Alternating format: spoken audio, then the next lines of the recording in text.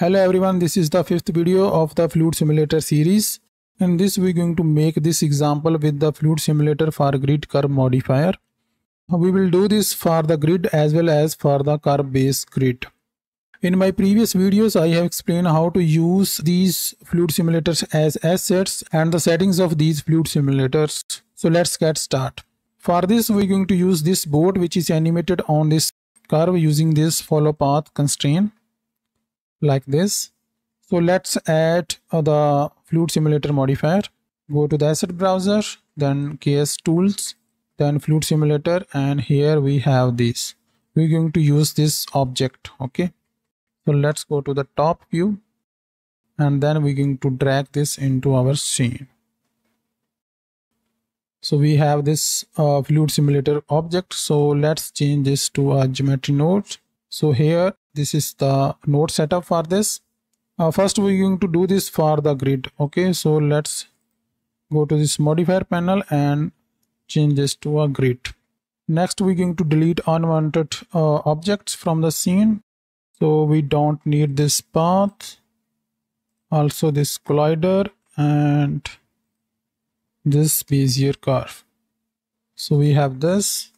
And next we're going to disable the these particles. Let me hide these time and named attributes. So for the grid settings, first we're going to slightly increase it is resolution. So let me show you the resolution for this. Okay, this is the resolution of the grid. You can even increase further for your final render, but I'm going to keep this 0.02 uh, because I'm uh, recording. Let me disable this. Next, we're going to also increase the size of this grid so that it cover our this board. In the initial setting, we're going to change this to a fast solver because it gives nice result uh, especially for the water trails or for water waves. So we're going to use this and next we're going to slightly increase this time step so we have a fast motion uh, for the water waves we're going to make this color conservation 1 so that we have a proper detail for the color and the velocity. In the boundary setting, we're going to use this a solid boundary for both the axes along the x-axis and the y-axis. So we have to enable this and we're going to use this black color. So let me delete this. We don't need that. So this is the node which get the velocity from the collider and here we're going to select our boat let's see in the animation.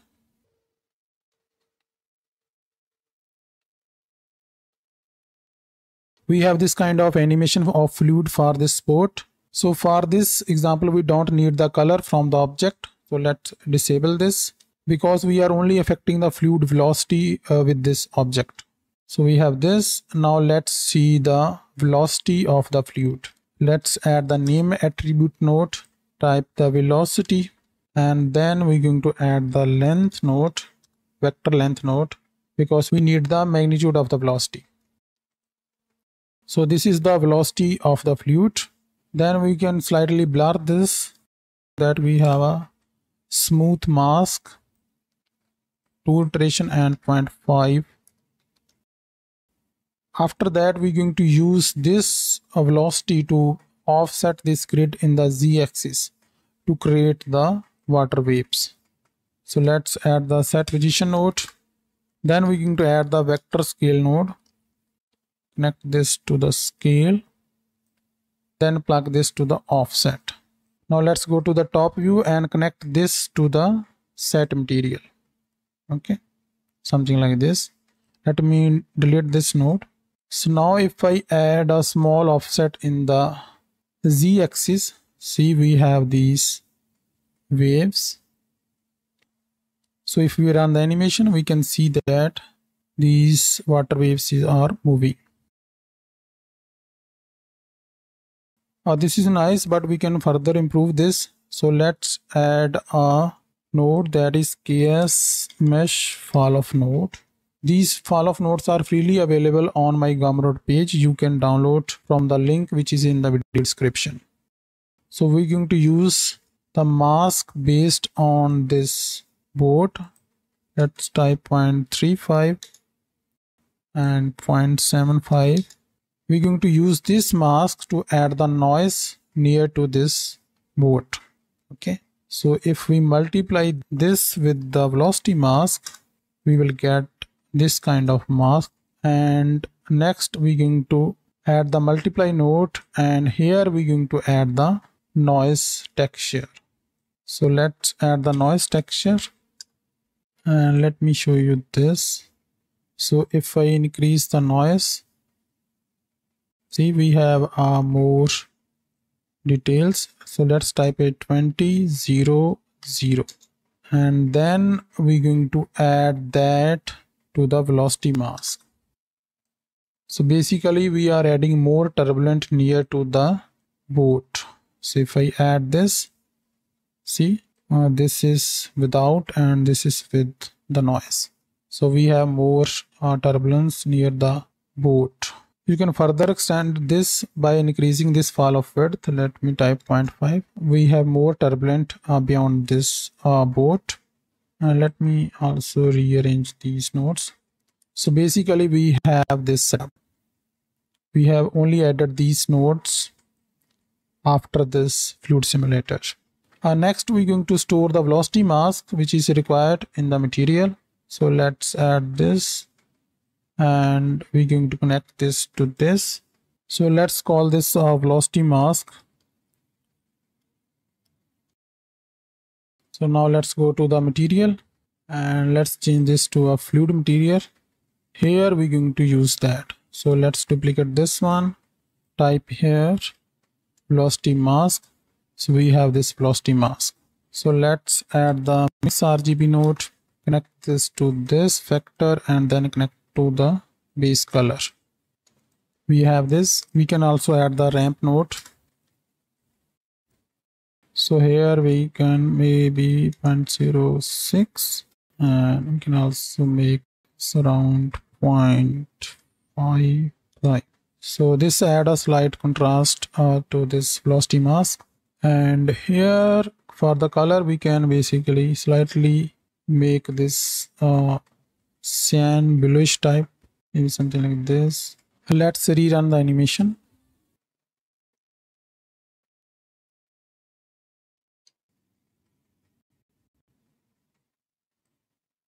So we have this kind of flow. Let's further improve this material. Let's add a green color to this base texture dark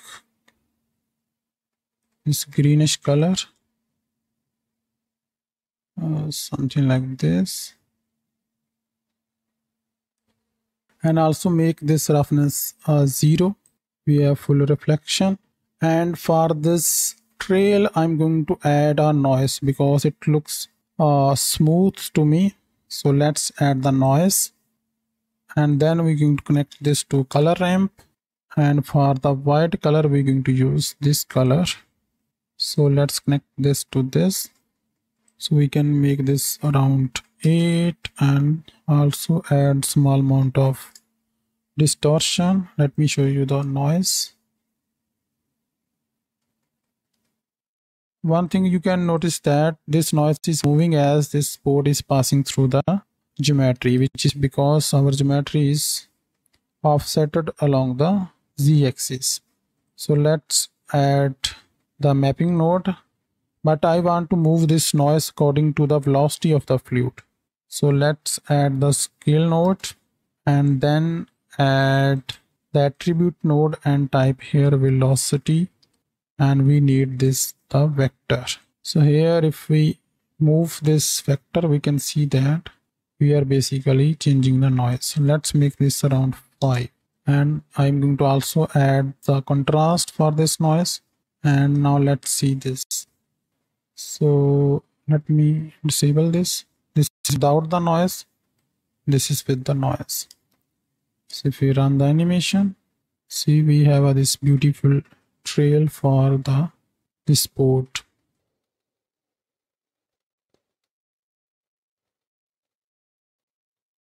okay. If we go to this geometry node modifier so here we are using this negative velocity means this boat is pushing backward fluid however we can also make this one. Basically boat is dragging fluid with it.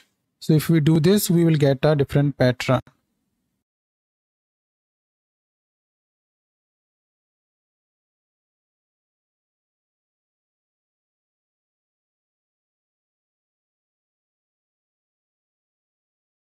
So this is the trail with the positive velocity or forward velocity.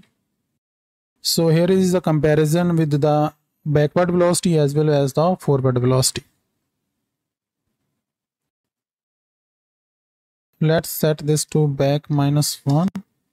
So this is how you can do the fluid interaction with the external object uh, for this grid case. So now let's change this to a curve based grid. First we have to select our curve which is this one, uh, this curve. Then we're going to change this to the curve. So we have this. This is the interaction of fluid with boat on curve based grid. But you can see that it is like a boundary here. The reason for is that we have enabled this x-axis boundary because our curve is closed so we have to disable this. If our curve is open then we have to enable this x-axis boundary.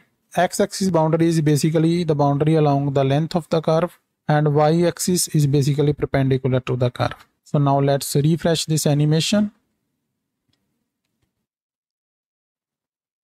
Now we don't have that boundary. So for this uh, grid you can slightly increase this resolution and also increase this radius. Now you can see that we have this kind of distortion because our grid is not perfect. The reason for is that this uh, curve has low resolution so we have to increase its resolution to 64 see we have a nice grid. So let's run the animation